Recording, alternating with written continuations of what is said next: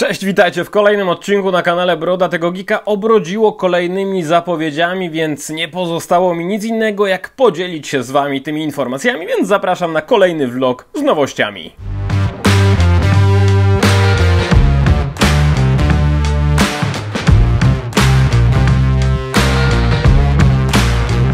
Już 1 maja zadebiutują mapety. Mówiłem o tym dawno temu, ale w końcu mamy oficjalne zdjęcia. 12 minifigurek 1 maja trafi do sklepów. Cena niezmieniona, więc 4 euro bez 1 eurocenta. Zakładam, że 17 zł dalej to będzie kosztowało u nas. No chyba, że podrożeje o złotówkę.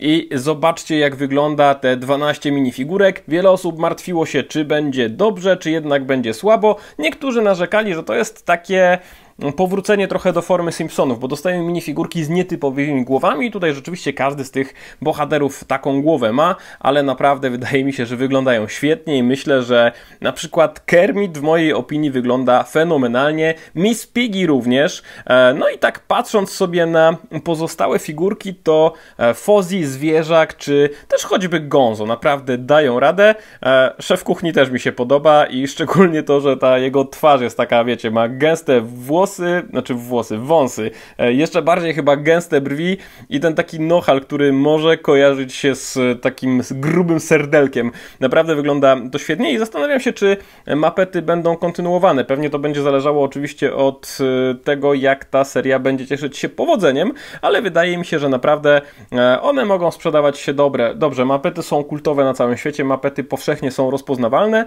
W ostatnich latach też mieliśmy dwa filmy aktorskie z mapetami, więc myślę, że gdzieś tam to e, kojarzenie i rozpoznawalność mapetów na całym świecie jest na dobrym poziomie i jeśli ta seria będzie cieszyła się sukcesem, no to być może będzie dalej kontynuowana.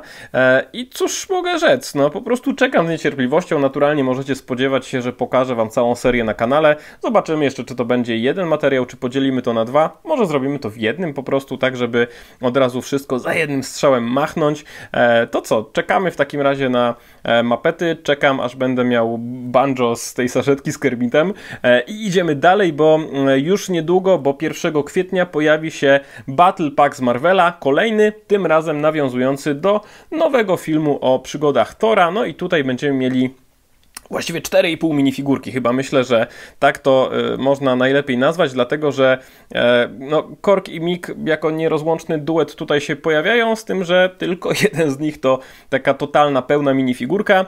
Y, mamy też oczywiście Walkirię, mamy Tora, no i też mamy Wojownika Chitauri, a poza tym garstka akcesoriów, trochę elementów do strzelania groszkami i to właściwie tyle, ale umówmy się, każdy kupi ten zestaw dla minifigurek. Jeśli jeszcze Tora nie mieliście, jeśli też chcecie uzupełnić jego kompanów, to zdecydowanie warto będzie po ten zestaw sięgnąć.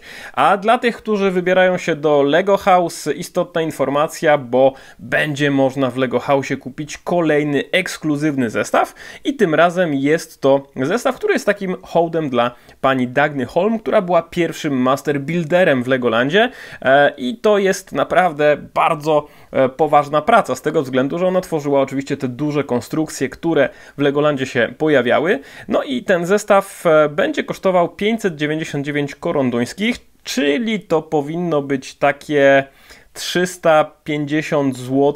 No, jakby nie będzie oficjalnej polskiej ceny, bo on jest do kupienia tylko i wyłącznie od 1 marca na terenie Lego House. Będzie składał się z 1068 elementów i cały zestaw to jest taka podstawka ekspozycyjna e, z, ze zbudowaną panią Holm, która tworzy taką naprawdę wielką żyrafę z klocków. Mamy tutaj oczywiście stół, na którym ona to buduje, a za nią oczywiście mamy całą masę akcesoriów, które są potrzebne do tego, żeby żyrafę, jak i inne zwierzaki też stworzyć.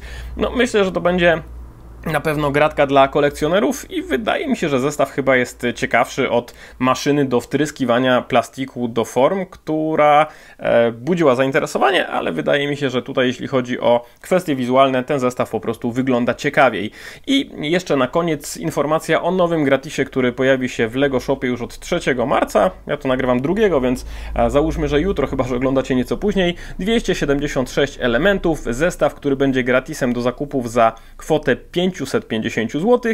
No i to jest zestaw, który jest hołdem dla Jane Goodall, czyli badaczki, która zajmowała się badaniem życia szympansów. I mamy tutaj znowu taką podstawkę ekspozycyjną, mamy też małpę, mamy panią Jane Goodall, no i oczywiście trochę e, otoczenia. I małpek nawet mamy więcej niż jedną, bo są aż trzy.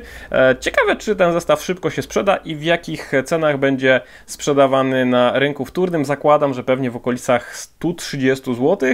E, I to jest jakby kontynuacja hołdów dla, bo mieliśmy wcześniej hołdy dla Charlesa Dickensa, czy też dla Amelie Earhart. Także dawajcie znać, czy chcecie się skusić na e, ten gratis. Ja chyba się skuszę, z tego względu, że jest kilka ekskluzywów, które w tym momencie miały premierę 1 marca.